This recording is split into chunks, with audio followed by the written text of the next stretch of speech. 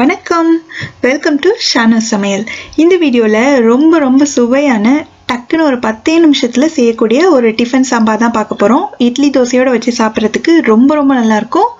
செய்ய ஸ்டார்ட் பண்ணலாம். அதுக்கு ஒரு ப்ரெஷர் குக்கரில் நான் கால் கப் பாசிப்பருப்பும் கால் கப் பருப்பும் எடுத்திருக்கேன். இந்த கப்பில் தான் சம அளவாக எடுத்திருக்கேன். இப்போ இதை நம்ம ரெண்டு மூணு தடவை கழுவி எடுத்துகிட்டு வந்துடலாம். இந்த கழுவுன பருப்புக்கு நான் ஒன்றரை கப் அளவு தண்ணி சேர்க்குறேன்.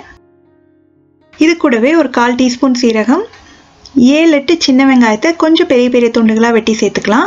அப்புறம் ஒரு கால் கப் அளவு கேரட்டை வந்து தோல் சீவிட்டு இந்த மாதிரி சின்ன சின்ன துண்டுகளாக வெட்டி சேர்த்துக்கிறேன். அதே அளவு உருளைக்கிழங்கு ஒரு சின்ன உருளைக்கிழங்கு போதும். கேரட்டும் உருளைக்கிழங்கும் ரொம்ப நிறைய சேர்த்துறாதீங்க. கொஞ்சமாக இந்த அளவு சேர்த்திங்கன்னா கரெக்டாக இருக்கும். அது கூடவே ஒரு ரெண்டு கீர்ண பச்சை மிளகாய் ரெண்டு பொடியாக நறுக்குன தக்காளி ரெண்டு டேபிள் ஸ்பூன் அளவுக்கு சாம்பார் பொடி இதெல்லாம் சேர்த்து நல்லா கலந்து விட்டுலாம்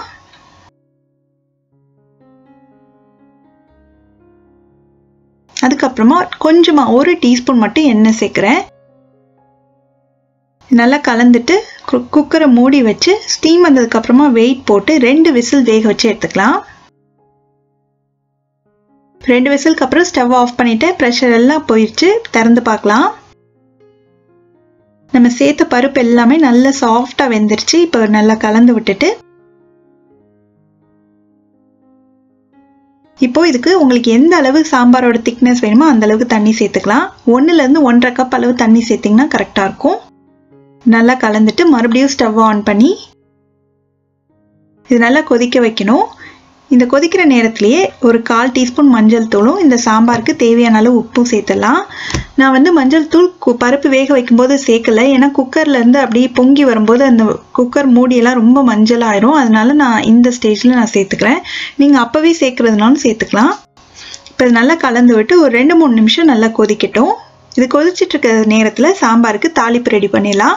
ஒரு தாளிக்கிற கரண்டியில் ஒரு டேபிள் ஸ்பூன் அளவுக்கு நல்லெண்ணெய் சேர்த்துருக்கேன். எண்ணெய் சூடானதுக்கு அப்புறமா அரை டீஸ்பூன் கடுகு அரை டீஸ்பூன் உளுந்து இது ரெண்டும் நல்லா பொரிஞ்ச உடனே கொஞ்சமாக ஒரு கால் டீஸ்பூன்லேருந்து அரை டீஸ்பூன் அளவுக்கு பெருங்காயத்தூள் அப்புறம் கொஞ்சம் கருவேப்பிலை. இதெல்லாம் சேர்த்துட்டு இந்த தாளிப்பை சாம்பாரில் சேர்த்து நல்லா கலந்து விட்டலாம்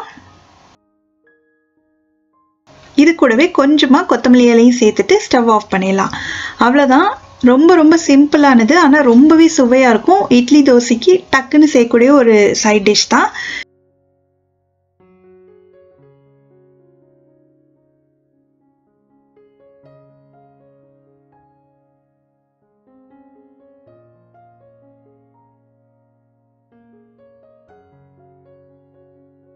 நீங்களும் இந்த ரெசிப்பியை கண்டிப்பாக வீட்டில் ட்ரை பண்ணி பார்த்துட்டு எப்படி வந்ததுன்ற கமெண்ட் சொல்லுங்கள் இதே மாதிரி நிறைய வீடியோஸ் பார்க்கணுன்னா இந்த சேனலுக்கு சப்ஸ்கிரைப் பண்ணுங்கள் ஷானு சமையல் எளிய முறையில் இனிய சுவையில் நன்றி!